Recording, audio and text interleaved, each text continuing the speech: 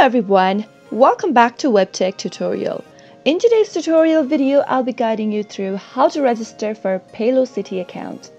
Paylocity is an American company which provides cloud-based payroll and human capital management software.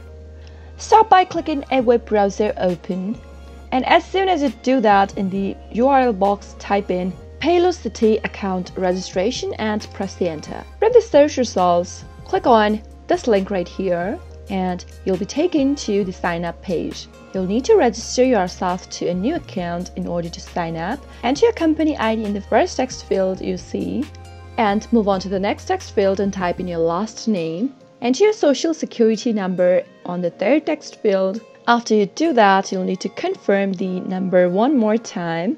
Make sure both of the social security number matches. Once you do that, type in your zip code and after you're done, click on I'm not a robot and finally click on continue.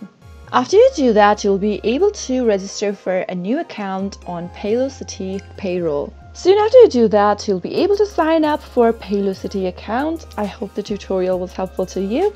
If it was, go ahead and give it a thumbs up.